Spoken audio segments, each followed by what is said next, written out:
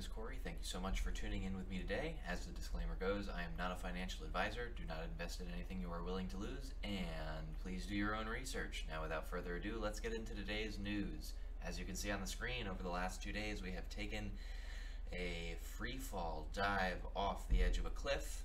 Um, Bitcoin was trading at around $9,200. Now it's tanked all the way down to $7,900. Um, this affecting all of the markets in general. Um, if we go and check out our XRP that we are so fond of, we're going to also see a, uh, a pattern very similar to that, also coming off of a nice shelf, but holding steady at around this 20 cent mark. Um, I made another small purchase as soon as I saw this thing dive down into the, the 20 cents. I, I ran home and, and bought a couple more. Uh, not gonna lie but I did see, think that we were coming up on this rise. I didn't think that we were going to be too much more affected, um, but as you can see, a couple percentage points down, and it looks like we're holding steady. Should be moving back up to the upside, so I'm not too concerned. But what I am concerned is, I am concerned with this. I am concerned with the pre-markets. It looks like the Dow is going to be opening this morning about 1,200 points under a big drop of about 1,200 points. So you know, um, you know, we're seeing the same the, the same market drop throughout. You know, where where all of it is. I mean, even right now, we're we're in the 20 cent range right now for XRP. So uh, it just seems like markets are getting crushed all over the place. Um, yeah, there's a lot going on. Reborn, just a coincidence, right? So this guy's on fire. I've been following him like crazy. He's been following the recent um, news with the beer flu and how it's affecting people and the economy, and people are going crazy in the supermarkets. You, I, people are buying toilet paper like it's nobody's business, like as if the if the world ends, having a piece of paper to wipe your butt is far more important than than other supplies for some reason. I don't know. I've never heard of something called it like the toilet paper crisis, but I thought it was funny. I just wanted to show you that there are people buying like crazy. They're trying to buy up supplies, so uh, there is a bunch of fear going around, uh, which could add to this stock market crash. And um, you know, it's really just being played uh, into our into our minds right now and let's just be safe out there. Let's you know realize that you know it, it, we don't need to go crazy. You know we're here to help each other. We shouldn't be you know rushing out and and going insane. We should be you know taking some time to sit down and think about how we can help each other with through this you know go slow. Um, anyway reborn 13 at reborn 13 I had something come out he put out. Um, I saw a couple different articles today talking about uh, this topic, but not necessarily in the same wording. But a couple years ago, I found out about a uh, computer program inside the global banking system. It's really interesting that it's being brought up now, uh, especially in uh, in line with this market drop. Um, but what he's saying is there's a ICE 9 is a computer virus developed by the DoD for unknown purposes. The virus can cause significant collateral damage, dev devastating consequences on a global scale, including bringing down the global banking system. It is the world's most lethal virus. I'm not sure if that this is a virus. I know that it says here that it is a virus, but the last time that I was uh, introduced to this thing, it says right here, X9.exe is a computer virus developed by the DoD for unknown purposes according to the machine. It is the world's most lethal virus, capable of bringing Samaritan to its knees. Um, we've got Mr. Pool uh, sending out some DoD tests of this ICE 9 uh, type of thing, a little bit of a warning. Uh, ICE 9 Jim Rickards reveals the elite's master plan and three ways to protect yourself. I don't, there's no date on this, so I, I, I don't know when this is from, but uh, it says ICE 9 is a fine way to describe the power elite response to the next financial crisis. Instead of reliquifying the world, elites will freeze it. To be more specific, quotes, elites, Rickards warns, are preparing for a financial ICE 9 with no vaccine. They will quarantine your money by locking it inside the financial system until the contagion subsides. This means closing down the banks, exchanges, and money market funds, shutting down ATMs, and ordering asset managers not to sell securities.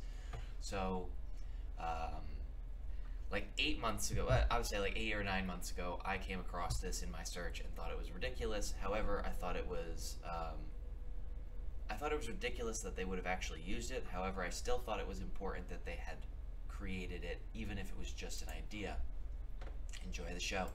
Anyway, so Ian Northing comes out and uh, is in response to David Schwartz, and he says a trading curb, sometimes referred to as a circuit breaker, is a financial regulatory instrument that is in place to prevent stock market crashes from occurring. Circuit breakers can be modified to prevent both speculative gains and dramatic losses within a small time frame.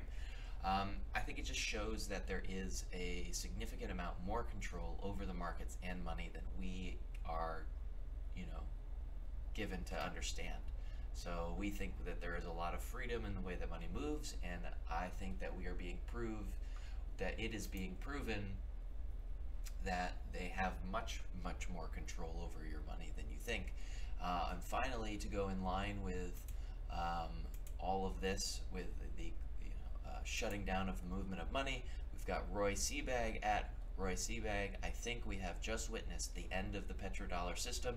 Non-U.S. countries will soon seek new unit of account, medium of exchange, and store value, in new Bretton Woods that will not be decided in America or by the Americans.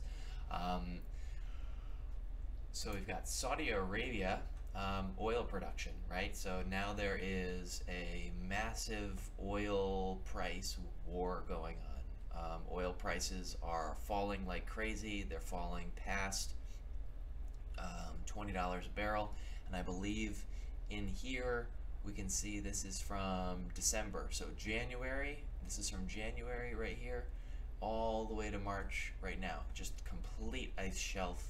Um, oil production is being ramped up and it says that they are targeting $10.25 a barrel as under the Brent benchmark. So lowest prices of oil you could possibly be seeing. Um, in comparison, there are some more charts.